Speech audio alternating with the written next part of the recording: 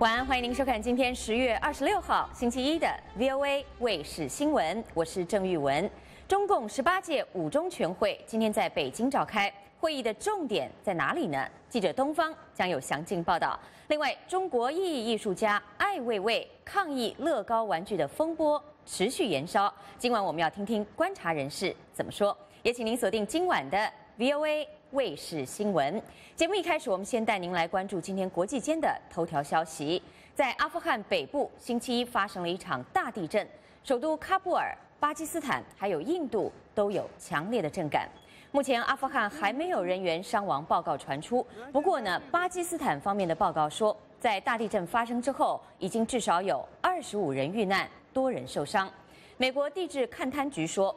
这起七点五级的地震，震源深度是一百九十六千米，震中是位于费扎巴德东南部八十二千米的新都库什山脉，这也是阿富汗一个相当偏远的地区。继续，我们再把镜头转向加拿大，一艘观鲸船在星期天的下午在加拿大西部沿海沉没，导致至少五人死亡。这起观鲸船呢，它是在不列颠哥伦比亚省。托菲诺附近所沉没的，在船上一共载有二十七人，目前还不清楚造成沉船事件的原因。联合救援协调中心表示，有二十一人获救，但目前还有一人下落不明。获救者都已经被送往医院，其中一人伤势严重，不过并没有生命的危险。接下来，我们把镜头转向中国，中共十八届五中全会今天在北京的京西宾馆召开。“十三五”计划以及中共高层的人事变动是会议的焦点。那么这次的五中全会呢，也可以说是习近平时代所制定的第一个五年规划。习近平十八大以来的一系列经济政策重大决定，还有重要的人事安排，都有可能会在这次的全会中加以确定。接下来，我们通过连线，请美国之音驻北京记者东方来为您报道最新情况。东方，你好。呃，岳文你好，是东方。我们首先就先来看看经济方面，这个“十三五”的规划，这可以说是习近平任内一个非常重要，也是第一个五年规划。那么现在随着中国经济的放缓，外界有很大的担忧，这次的五中全会可能会宣布哪些经济政策呢？中国媒体呢，一般要在这个五中全会闭幕以后，才正式会宣布向老百姓宣布举行了这个会议，并发表会议公报。不过，据我们的了解呢，这次五中全会召开之际，中国股市崩盘，人民币贬值，再加上中国经济增速首次跌破指标性的百分之七以下，所以说呢，混乱的中国经济变局一再令世界啊困扰侧目。那么“十三五”规划是这次啊这个五中全会的重点目标，肯定要围绕着中国经济增长放缓制定一些政策。我们看到最近一段时间里，中国官方媒体的调门呢，已经从过去的保八保七，到现在呢宣传中国经济无需不守百分之七。那么有分析说啊，今天的中国。经济政治呈现一种多元化的这个啊状态，那么有些智库就指出，那今天的中国政府呢，仍然靠着顶层设计来做经济，靠着集权政府干预来指导市场经济，很难让中国的经济摆脱困境啊。岳文。是，那么除了这种由上而下的经济管控之外，当然另外一个焦点议题就是人事的布局。很多人说，这一次五中全会可以说就是为将来十九大的人事来敲定它的布局哦。那么特别是十九大政治局常委的空缺，到底花落谁家？很多人都在进行分析和揣测。跟我们谈谈，在北京的外媒是如何来分析的呢？因为五中全会在十八大和十九大之间，那么在十九大上，中国军委和政治局常委将会有比较大的变动。那么我们看一些海外媒体就分析说呢，在这次五中全会上，上海市委书记也许会换人，现任的上海市委书记韩正会被换下。那么刘少奇的儿子刘源，也是习近平在这个军内打击腐败的主要同盟军，有可能会进入中央军委。那么王岐山年龄已经到了退休年龄，但是十九大呢，他可能不会退下。这次五中全会可能会决定让王岐山延迟退休。那么跟随习近平访问美国、访问英国的中央办公厅主任栗战书呢，也有可能进政治局常委。另外呢，这次五中全会的另一个看点，也许是会正式宣布令计划被开除出党。那么看到啊，五中全会在人事方面的议题，肯定包括将正式将十一位啊这个腐败落马的中央委员和中央候补委员清除出党，包括令计划、周本顺啊这个杨栋梁他们。嗯。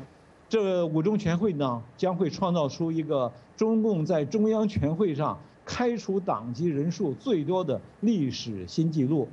就在开会这个五中全会之前开幕之前呢，中共颁布了一个叫做《中国共产党党纪纪律处分的条例》，是其中一个新规定呢，说是妄议中央大政方针可以开除党籍。有的分析说这是指那个。啊，任志强啊，最近发表对共产主义的看法，也有评论是说呢，警告下层官员不要妄议中央。如这个河北省省委书记啊，这个呃周本顺就被开除了党籍。据说呢，他其中一个罪行就是啊，就是对党不忠诚啊，阳奉阴违，妄议中央。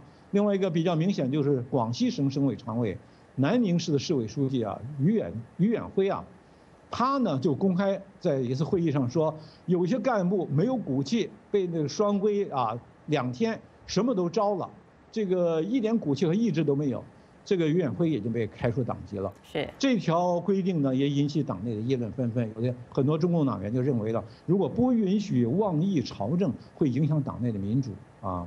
呃，于文。是，也有很多人说这个妄议啊，现在成了这个中国现在最热门的一个名词了。那么继续，我们再看到，也有外媒报道说，中国有可能在这一次的五中全会上，再进一步来松绑计划生育政策。在这方面，你掌握了什么信息呢？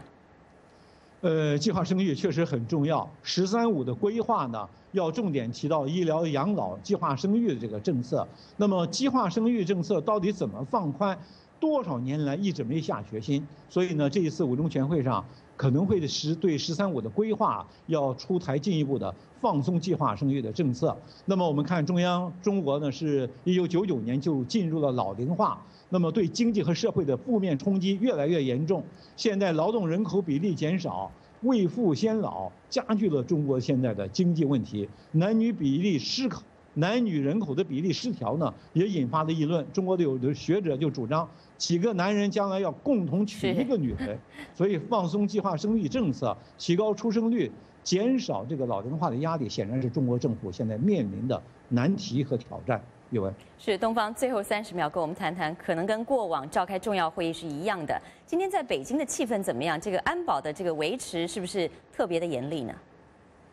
呃，他虽然没有正式的宣布，但是呢，这次五中全会按惯例应该是在由总参部总参这个解放军背景的京西宾馆召开，不是在人民大会堂。那么四百多名啊，中共中央委员和候补委员以及他们的秘书、专家学者就在那个宾馆里边啊，闭门探讨中国的大事儿。那么在那个周围呢，布置了很多的警力，从火车站西客站开始啊，布置警力。那么。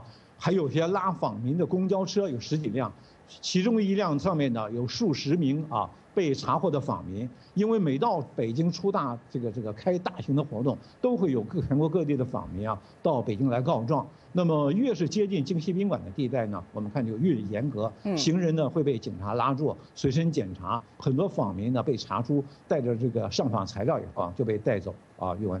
好的，我们非常感谢记者东方在北京为我们所做的最新报道。那么，中共十八届五中全会将会在这个星期四闭幕，美国之音也将持续为您报道会议的最新消息，请您锁定美国之音或者登录美国之音中文网查询我们的即时报道。我们的网址是 voa chinese 点 com。稍后回来，艾未未的乐高玩具风波到底是怎么回事呢？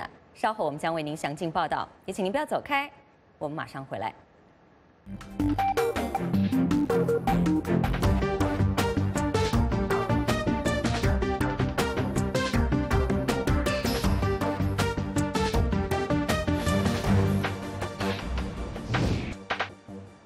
欢迎回到 VOA 卫视新闻。中国艺艺艺术家艾未未上个周末透露，丹麦乐高玩具公司以不支持政治作品，拒绝为他提供大量积木。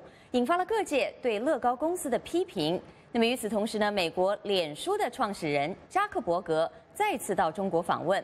很多人说，中国的经济放缓以及人权问题，似乎没有让西方的企业停止前进中国的脚步，到底是为什么呢？下面我们通过连线，请在云南大理的中国维权人士，也是社会活动家胡佳来谈谈他的看法。胡佳你好，你好，是胡佳，你现在人不在北京啊？跟我们谈谈这个，先来说说为什么人不在北京？是被当局旅游了吗？我们刚刚看到有关五中全会的消息。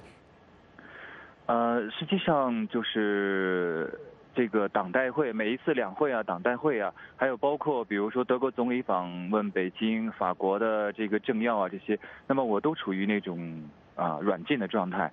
那现在一种变通的方式，就是说在这期间的话，我与其在家里边被他们这么就是围困着，不如说他们在那种明的暗的这样的这种这种跟随和监控之下，我到其他地方去，我还可以呼一些没呼吸一些没有雾霾的空气，这个就是只是一种，呃，退而求其次的方法嘛，就两害相权取其轻。嗯，那么胡佳，我们现在就来看一看我们刚刚提到的艾未未的这个乐高积木的风波。那目前看来还在持续的延烧。美国之音我们也已经向目前在柏林的艾未未发出了采访邀请，先跟我们谈谈你对这起事件的看法好吗？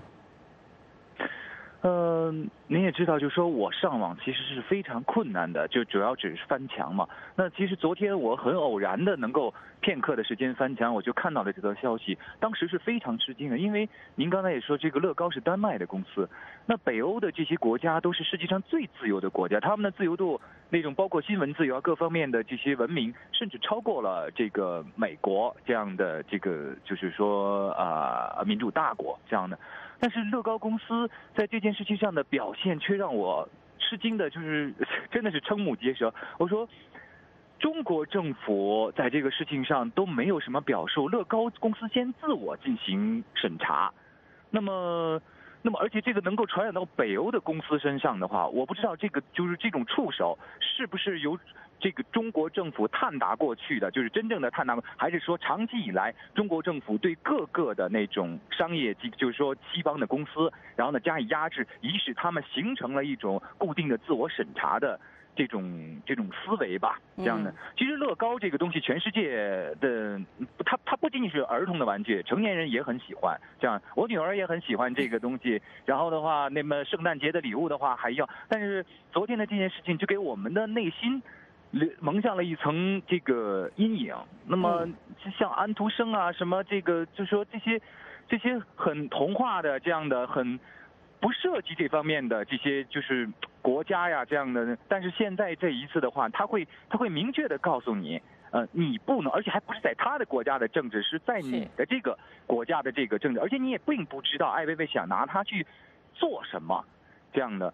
那所以这个东西的确，嗯，你会考虑要抵制乐高公司吗？呃，说句心里话，我觉得这件事情就是荒唐的，尤尤其已经让我可笑，而且已经生不出那种愤怒了。就许多的事情，就是在专制的这种领域上，尤其专制的这种这种手，它可以去探拿整个世界各地的时候的话，有因为你令你生气、令你愤慨的事情太多了。那现在来讲的话，乐高公司的这个这个东西，我自己个人的话，我仍然会给我女儿买。但是你说，就是说，作为这个产品本身的话，我觉得这个品牌的。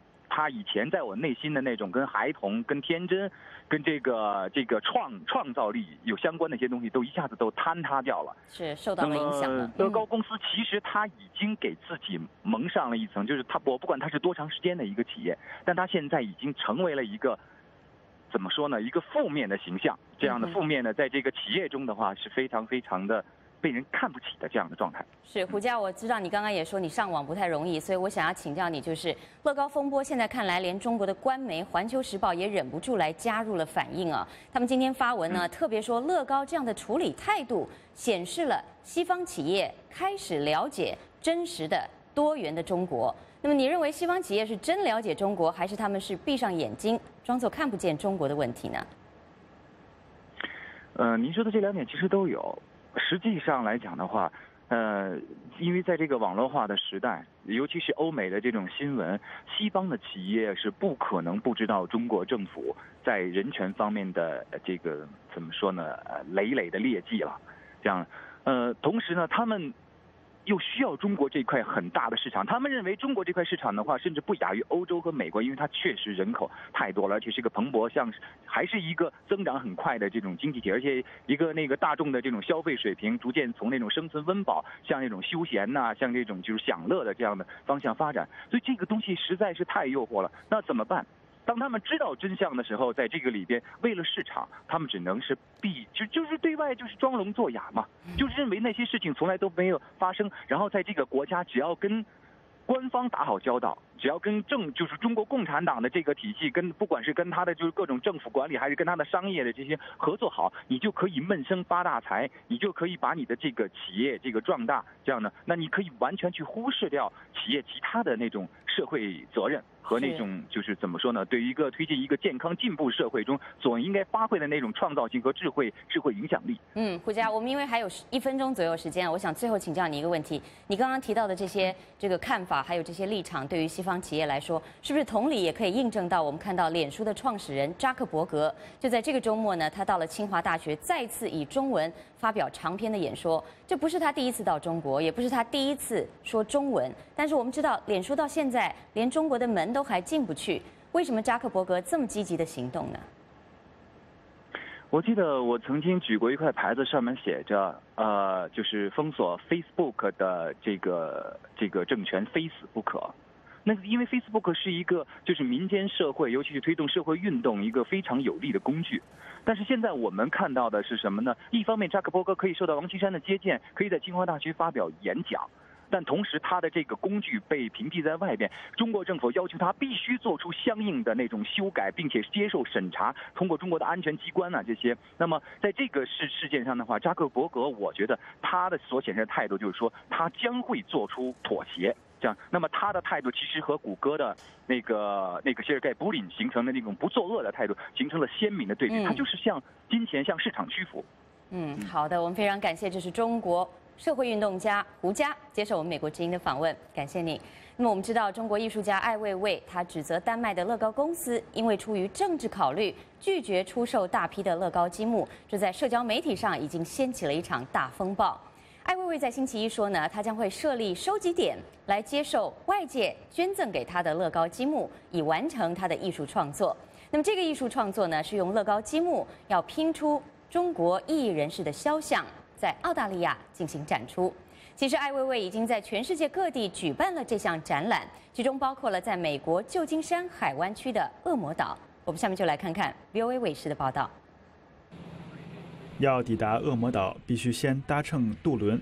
这个小岛曾经是美国关押重刑犯的联邦监狱，后来成为旧金山主要的观光景点之一，每年吸引一百四十万到一百五十万人。二零一四年九月到二零一五年四月，恶魔岛展出了艾薇薇的积木展。艾薇薇用一百二十万块乐高积木拼建成一百七十六幅全球政治犯和流亡者的肖像。其中包括受到间谍指控、旅居俄罗斯的美国国安局合同工斯诺登。艾薇薇说：“是他五岁的儿子启发了他用乐高积木创作的想法。”策展人海因斯说：“展览的主题很广泛，大部分人感兴趣的是基本人权、言论自由，还有个人责任和沟通等等。这些主题如何建立一个公平的社会？”一名澳大利亚游客说。这个展览让我思考少数人如何坚持理想。美国国家公园解说员说：“我认为艾薇薇的展览为恶魔岛带来了现代化的意义，让游客可以深刻思考自由和平等的意义。”美国之音 VOA 卫视报道。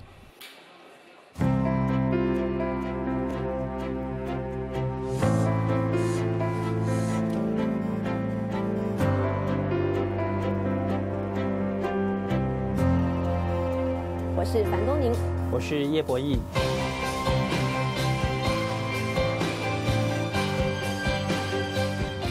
两岸关系最新发展，锁定海峡论坛。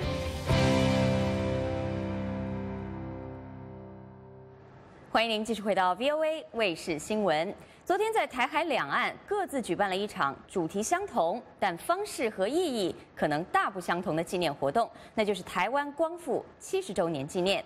相较于北京大张旗鼓的纪念与庆祝，台湾的反应却是相对冷淡。为什么呢？台湾光复七十周年对两岸关系到底具有什么样的意义？我们下面通过 Skype 连线参与美国之音节目的是台湾淡江大学国际事务与战略研究所教授黄介正黄教授，我们来欢迎他。黄教授您好。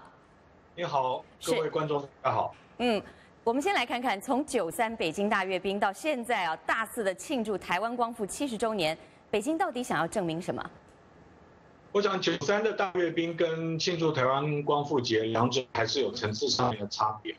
呃，就大阅兵来讲，当然是向世界还有周边地区国家展示中国现在呃不怕外敌侵略，呃，同时也纪念呃七十年前啊这个中国人民呃打败侵略者的这样子的一个纪念活动。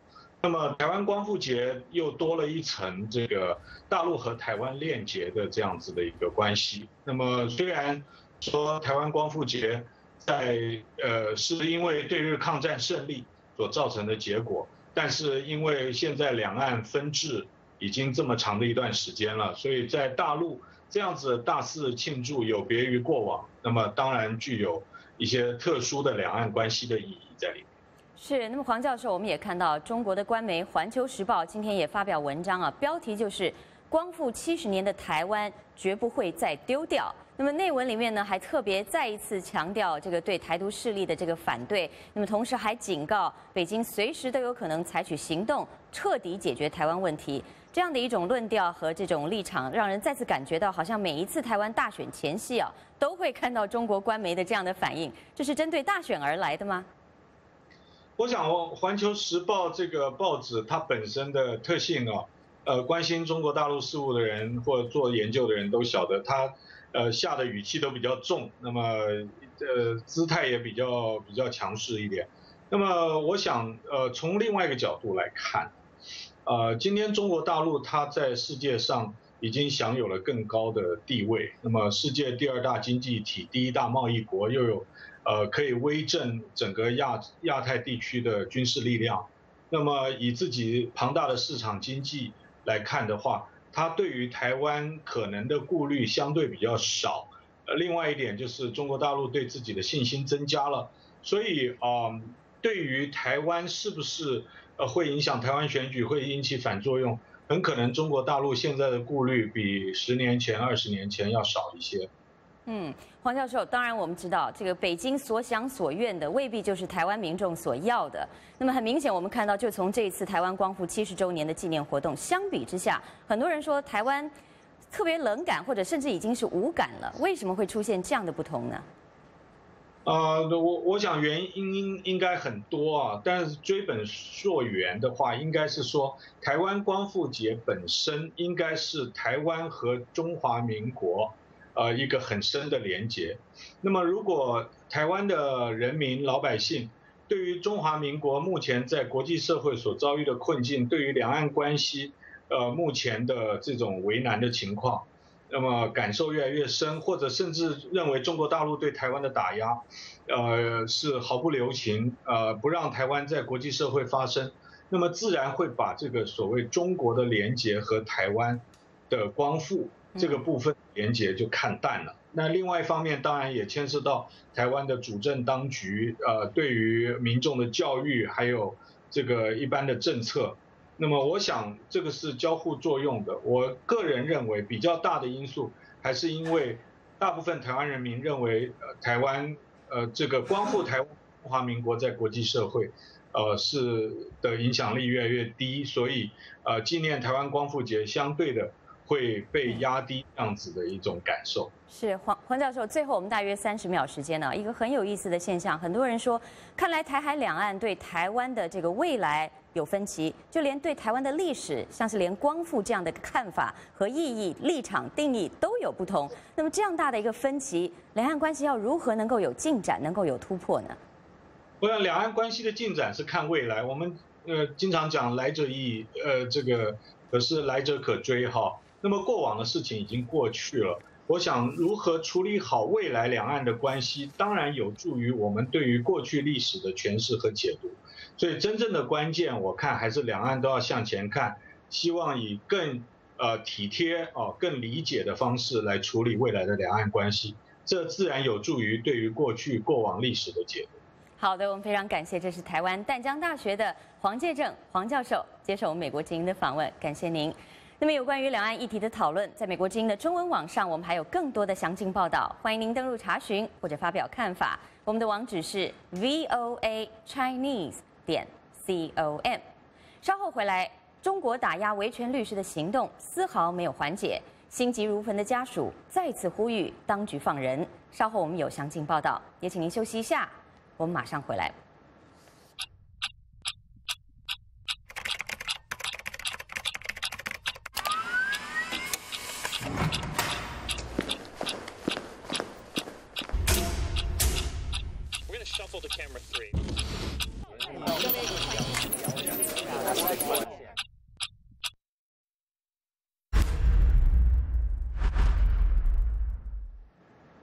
欢迎您继续回到 VOA 卫视新闻。三个半月的时间，超过三百人受害，这不是一场天灾，不是一场意外，这是中国维权律师家属还有相关人员目前面临的最新困境。从七月九号维权律师王宇被捕之后，受到中国当局约谈、传唤、限制出境、监视居住、刑事拘留、逮捕还有失踪，人数已经突破了三百人。那么下面我们为您通过电话连线，邀请总部在香港的中国维权律师关注组发言人陈女士来为我们介绍最新情况。陈女士您好，嗯，您好，是看来中国当局对维权律师的打压还没有停歇，是不是？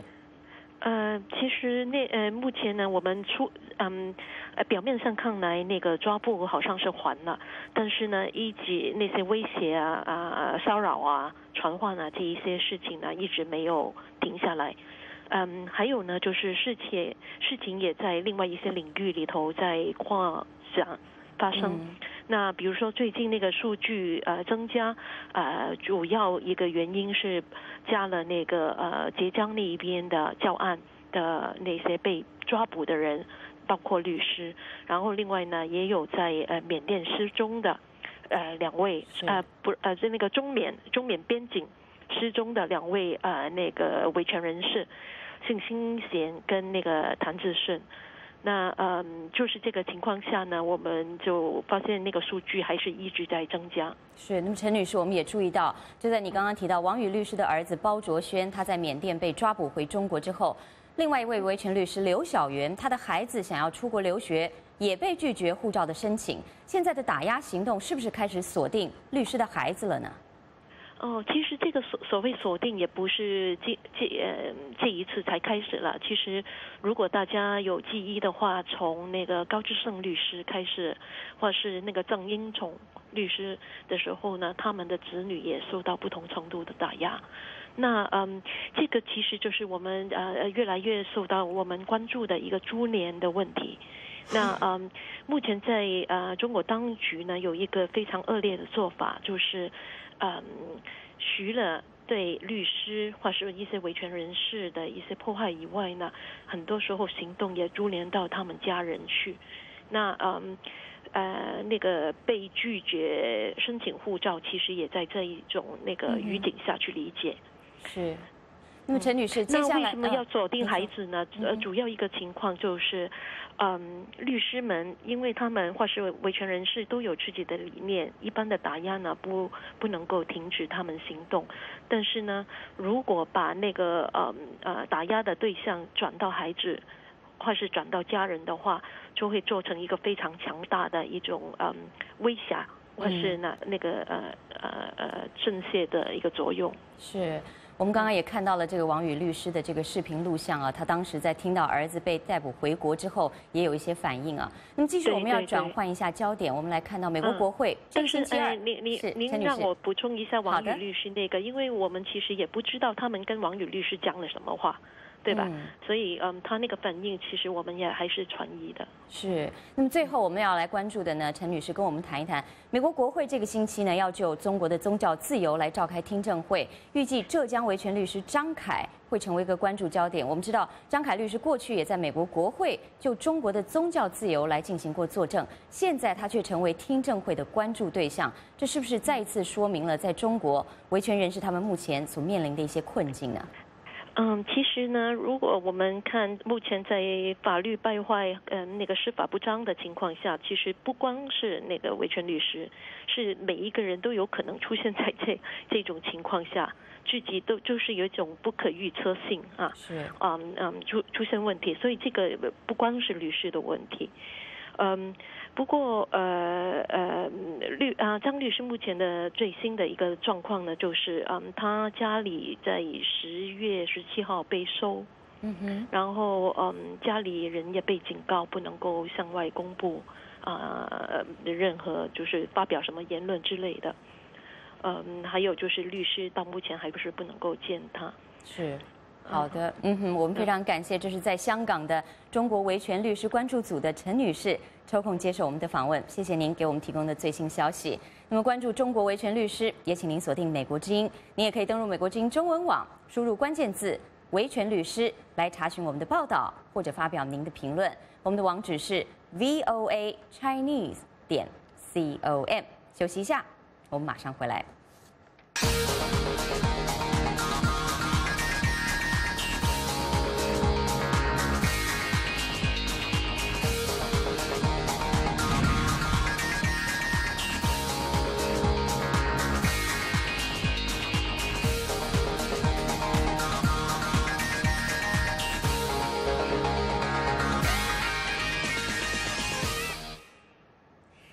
会众议院持续一个月的领导人危机预计将要结束了。共和党议员保罗·瑞安将被选为新议长，来取代上个月宣布辞职的贝纳。那么，在贝纳担任议长过去几年里，他常常试图让共和党各个派别团结起来，但是却徒劳无功。我们来看看鲍曼在华盛顿的报道。我没想要，也没有寻求议长职位。瑞安可能是美国现代史上第一位不情愿当上议长的人。瑞安在美国政坛上是一个知名人物。2012年，他是共和党提名的美国副总统候选人。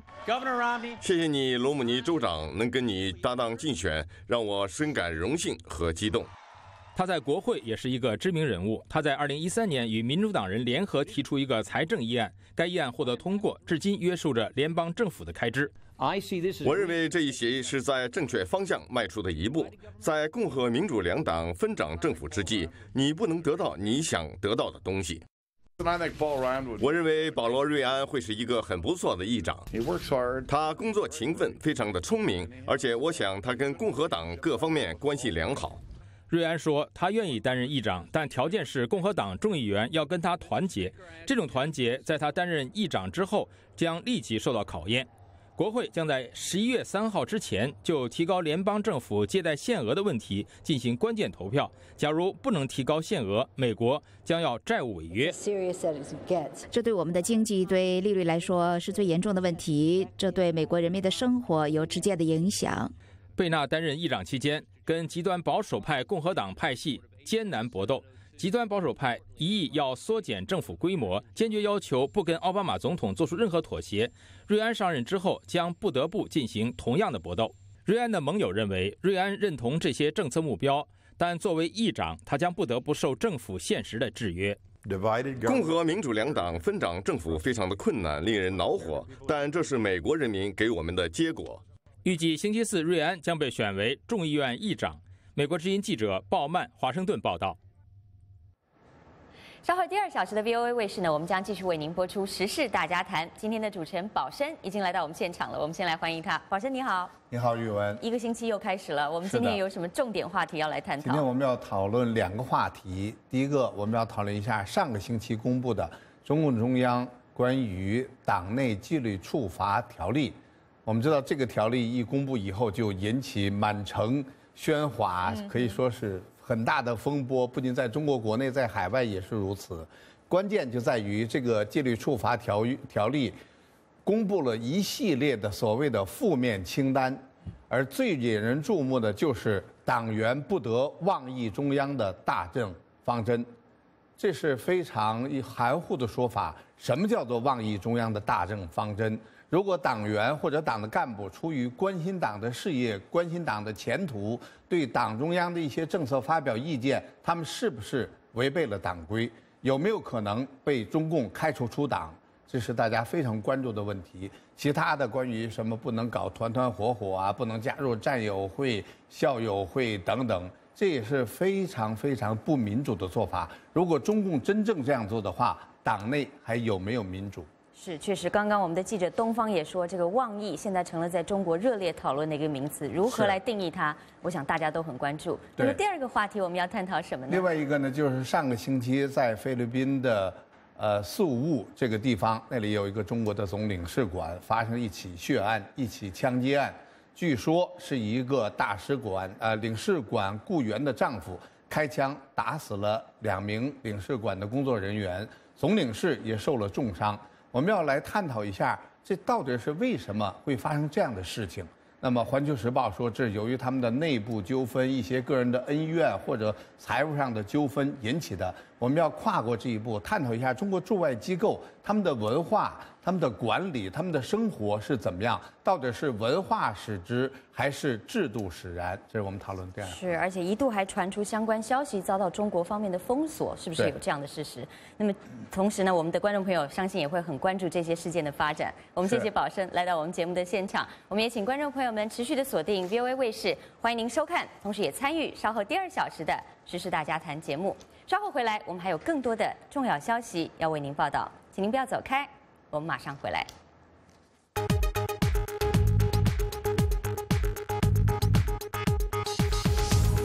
We do not recognize this. What if he doesn't political wise? That's not my job.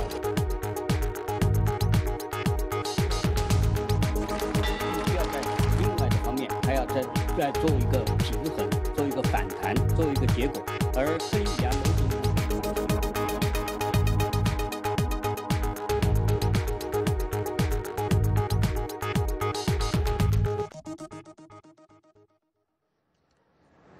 继续来看一组国际消息：土耳其当局对该国东南部一个伊斯兰国组织的分支进行了突袭，结果导致两名土耳其警官还有九名激进分子丧生。与此同时呢，土耳其当局也在努力要打击跨叙利亚边界的极端分子。在星期一的交火是发生在以库尔德人为主的城市迪亚巴克尔，警察突袭了几栋房子，安全官员说有四名警官受伤，三名激进分子被抓获。土耳其当局指责伊斯兰国组织在这个月早些时候在土耳其首都安卡拉从事两起自杀炸弹袭击，有一百多人在袭击中丧生。一艘星期天晚上从澳门驶往香港的快速渡轮，因为撞到不明漂浮物体，导致有一百二十多人受伤。当局表示，五名乘客伤势严重，目前已经送往医院。渡轮的运营公司说，客轮的尾部还有机房受损，渡轮在碰撞后失去了动力，但是没有下沉的危险。目前碰撞事故还在进行调查之中。朝鲜星期一对韩国在边界线附近水域开炮的事件，向韩国发出了警告。朝鲜国家电视台播报一名一份声明说，首尔如果继续猖狂的军事挑衅。有可能挑起不可预测的武装冲突。韩国方面则回应说，韩国海军向跨越分界线的一艘朝鲜巡逻艇开炮进行示警。在社会问题上非常保守，同时对波兰加入欧元体系持有怀疑态度的法律正义党，星期天赢得了波兰议会选举的胜利。他们在选举前几个月的竞选活动里承诺更多的社会福利支出。反对加入欧元体系，同时也誓言反对穆斯林移民进入波兰境内。投票后民调显示，由前总理亚罗斯瓦夫·卡钦斯基领导的法律正义党仅赢得超过百分之三十九的选票，而亲欧盟重视商业的公民纲领党则以百分之二十三的票数排在第二位。在计票进行的同时，如果投票后的民调数据保持不变，法律正义党的二百四十二名议员将在下议院四百六十名成员中占据绝对多数。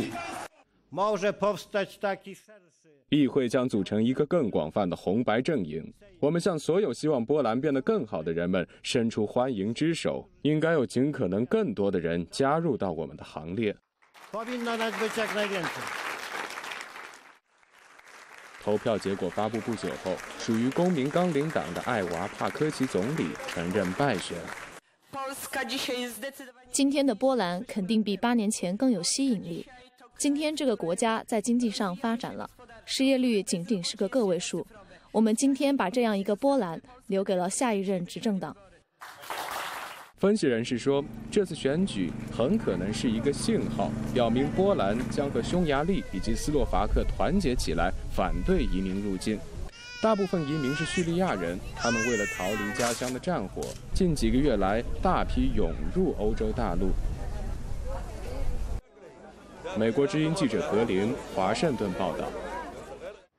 那么继续呢，我们再来看看美国的大选。美国总统大选的民主党党内情况，由于主要的竞争者退选，加上第一次辩论还有国会听证的出色表现，可以说让希拉里·克林顿选情大大的加分。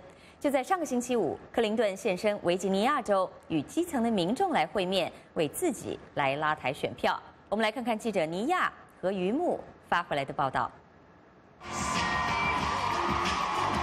十月二十三日周五下午，七百多名来自周边地区的希拉里支持者涌进亚历山德里亚市政厅门口的广场。这位从政经验丰富的竞选人希望摆脱过去的光环，向基层群众证明自身的价值。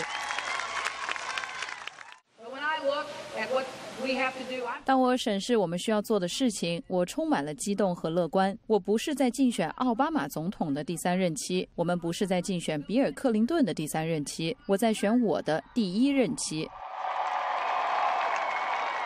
最近两周，民主党总统竞选人希拉里·克林顿的竞选之路走得风调雨顺，丰富老道的从政经验在第一次党内辩论帮助他打响了头炮。我们如何让更多的人能够拥有我拥有的经历？能够从一个祖父是工厂员工到父亲是小商人，直到现在，我能请求美国人民选我做总统。副总统乔·拜登一直被认为是民主党内能够挑战希拉里地位的一匹黑马。Good morning, folks. 然而，拜登在上周三宣布不参加总统竞选。很不幸，我相信我们已经没有足够的时间去准备一场有盛望的提名竞选。另外，两位民主党候选人前弗吉尼亚州联邦参议员吉姆·韦伯、罗德岛州州长林肯·查菲相继宣布退选。党内频频让路的同时，周四的听证会目前看来更像是共和党送给希拉里选举的大礼。在国会举办的长达十一小时针对班加西遭袭事件的听证会上，面对共和党的拷问，希拉里冷静自如的表现迎来公众的广泛好评。希拉里的党内支持者表示，他的表现很显然能够给他的竞选加分。我认为他表现得很好。我认为很不幸，听证委员会暴露了他们纯政治化的行为，这相当明显。然而，不是所有人都认为希拉里的表现能帮助他赢得竞选。维吉尼亚州共和党主席约翰·怀特贝克表示，周四的听证会并不代表两党在竞选中的较量，无法评论双方表现，那只是一场调查而已。他说，相比副总统拜登，希拉里并不构成很大威胁。我们将很愿意与他抗衡。现在拜登退出了比赛，我们认为我们占了上风，更容易赢得白宫。美国之音尼亚于木华盛顿报道。在国际间，要如何打破宣传来披露真实？这是美国国会众议院军事委员会一个小组在十月二十一号所举行的听证会的主题，包括美国国防部还有国际广播部门的负责人。都到国会进行作证。我们来看看 VOA 卫视新闻的报道。小组委员会成员和作证者集中讨论如何对付伊斯兰国等非国家实体和俄罗斯、伊朗以及其他地方的宣传讯息。广播理事会的理事马修·阿姆斯特朗是证人之一。他说：“美国之音推动言论自由和平衡报道，这将抗衡扭曲事实的讯息。”一开始，我们告诉受众言行差距是什么，他们说的是什么，而现实又是什么。这将帮助和影响接触受众。我们给受众以力量，让他们开始认清什么是宣传。美国空军准将查尔斯·穆尔谈到，伊斯兰国等各种组织善于运用社交媒体传播讯息。他们运用社交媒体、运用网络媒体的能力是他们的吸引力之一。这操作起来很快，而且一个人就可以操作，能够深深接触民众。他们一年三百六十五天，一周七天，一天二十四小时都在做。你必须跟上和对抗这种信息传播速度。美国国防部助理部长迈克尔·伦普金说：“美国军方认识到社交媒体及时性强，因此必须要有创造性和随时演变的策略。环境的复杂性要求我们运用一套深思熟虑的策略方式来战胜各种不同的敌人。简单的说，我们的敌人——推特对推特和网站对网站式的攻防。”伦普金还说，军事预算有可能削减，这给他们的部门制定多年策略带来了挑战。不过，他还强调说，在抗衡宣传问题，他们的部门正在与多家政府机构合作。美国之音 VOA 卫视华盛顿报道。说到了国际情势，随着海洋领土的争端紧张，在南中国海上空可以说是风云密布。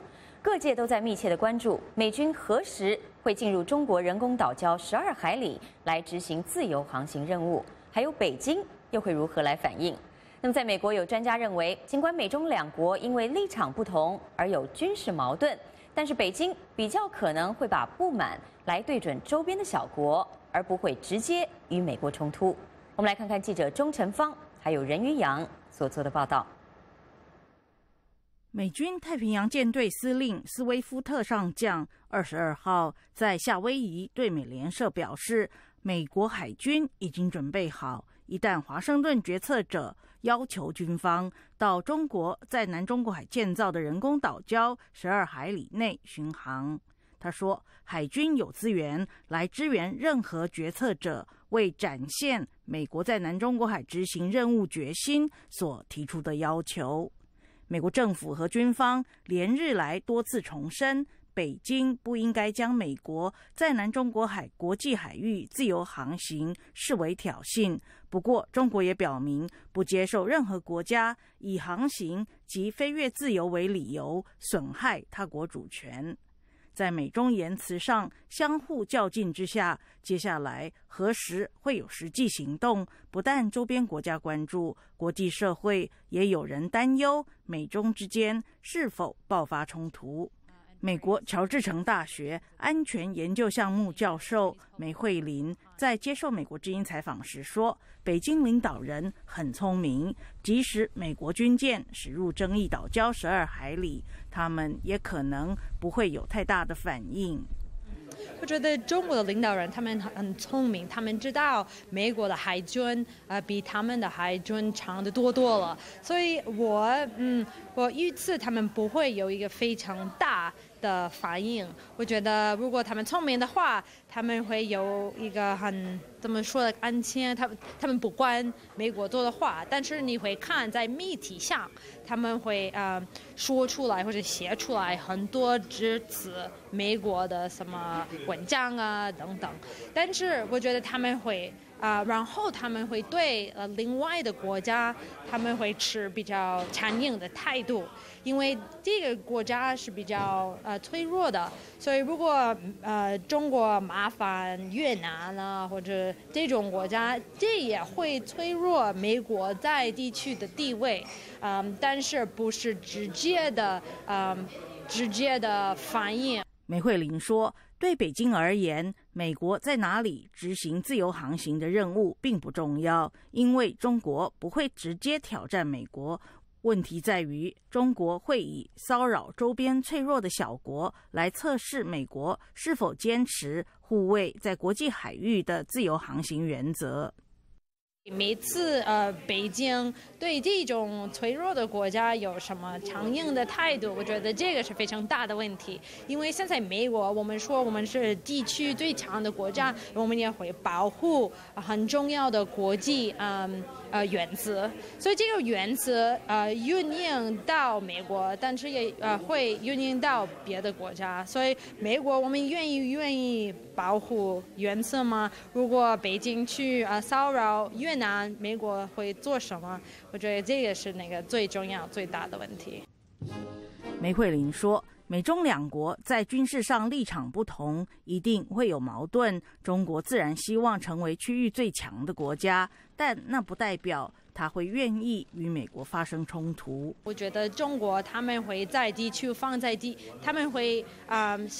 变成最强的国家，哎，他们啊宁可美国不会留在待在地区，所以这个肯定啊是一种矛盾，哎，在我们啊两个国。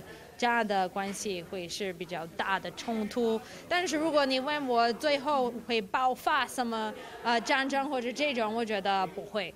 呃，中国很聪明，他们知道最最呃聪明的政策就是不管美国，就是批评美国，但是啊不需不需要用什么行动或者什么运动来嗯就是刺激美国。媒体报道说，美国已经通告亚洲盟友，他准备派军舰进入中国建设的人工岛礁十二海里，以伸张国际海域的航行自由。斯威夫特上将说：“中国在南中国海填海造岛，并没有改变，也不会改变太平洋舰队的行动。”他说：“我们持续在那个海域行动，正如他们没有造岛之前一样。”以上是美国之音记者钟成芳、任玉阳的报道。最近，一名台湾妇人在飞往美国的班机上生孩子，结果后来她遭到了美国遣送回台湾。这起事件呢，在华人圈里引发了非常大的反响。许多人批评这位妇女，她的目的就是要在美国生孩子，以获得美国公民的身份。我们知道，外国人在美国生孩子自动取得公民身份，这是依据美国宪法第十四修正案。但是目前有专家提出挑战，说第十四修正案其实它的本意并非如此。我们来看看记者杨晨、魏之还有常晓在国会山的报道。在华盛顿保守智库传统基金会的一次讨论上，两位宪法问题专家。对于宪法第十四修正案是否给予所有出生在美国的人公民身份提出截然不同的结论。宪法第十四修正案第一款规定，所有在合众国出生或规划合众国并受其法律管辖的人都是合众国和他们所在州的公民。宪法专家詹姆斯·河认为，第十四修正案通过以来，不论是立法、司法还是行政当局的解释，都得出同一个结论。Which is that birthright citizenship applies to everyone. 自动公民权适用于任何生在美国、接受美国法律管辖的人。关于第十四修正案的争论焦点是受其管辖的条文。詹姆斯·和认为，除了外交官等享受豁免权的人，其他的人都接受美国法律管辖，因此只要出生在美国，就满足了获得公民身份的权利。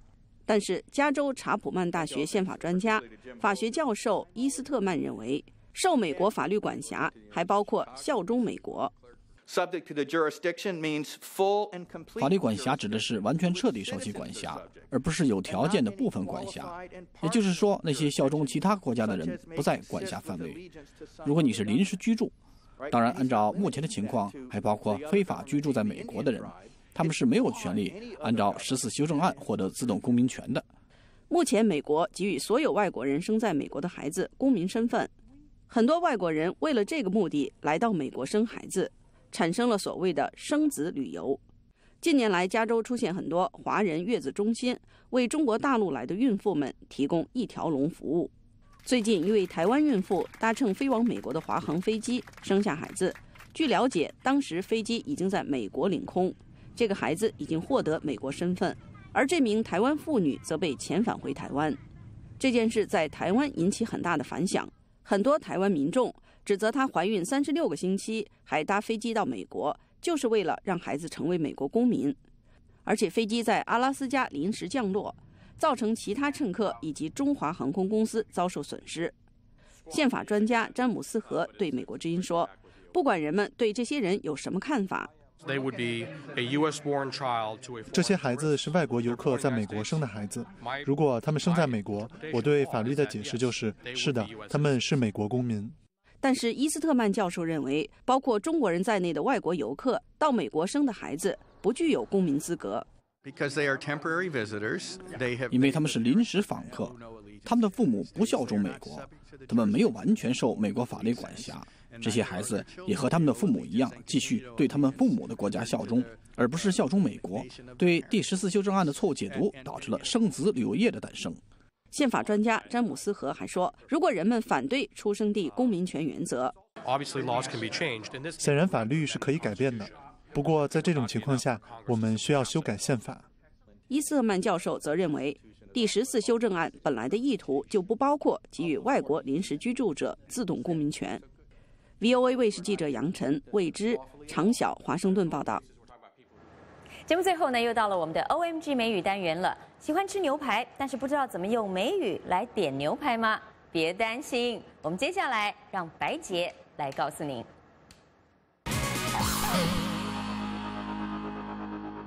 大家好，来到 OMG 美语，我是白洁。我们今天一起来看看我们的新浪微博上的粉丝小豆丁的大豆丁 five seven three nine five，这个话题就是吃牛排的常用语。How would you like your steak cooked? How would you like your steak cooked? How would you like your steak cooked? 你的牛排要几分熟？Hello, welcome to Longhorn Steakhouse. What can I get you today? 你好，欢迎来到长角牛排餐厅。您想点什么？I would like a steak, please. 我要一份牛排。How would you like your steak cooked?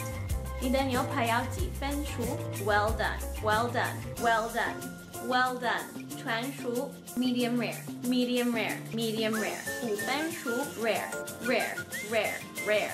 一分熟，I'm not sure. Could you help me decide?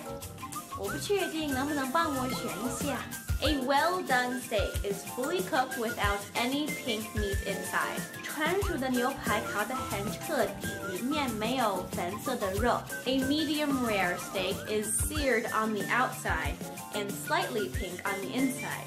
五分熟的牛排外面是焦的，里面是粉色的。A rare steak is charred on the outside brown on the sides and bright red in the middle. 一分熟牛排外面一点点焦，表面稍稍有一点棕色，里面是鲜红色。I'll try a medium rare steak today. Thank you. 那我今天尝尝无分熟的吧，谢谢。好，请评论告诉我，How do you like your steak cooked? I like rare steak. okay, bye. 美国移民改革为什么争议不断？美国人究竟怎样看中国？美国总统如何与媒体互动？大家好，我是时事大谈主持人黄耀义。您想更了解美国吗？时事大谈将在近期内开办一个新的电视栏目，VOA 有问必答。对于美国的政治、社会、经济、文化，还有任何其他的问题，只要您提出来，我们将在节目当中为您。问必答，您可以在美国之音中文网的卫视留言板上提出问题。您也可以将问题拍摄下来，然后把视频上传到美国之音中文网的“我要上 VOA” 栏目。您还可以使用美国之音手机应用程序拍摄并且上传您的视频。我们将在《时事大家谈》节目当中播出，并且回答您的问题。VOA 有问必答。我们电视上见。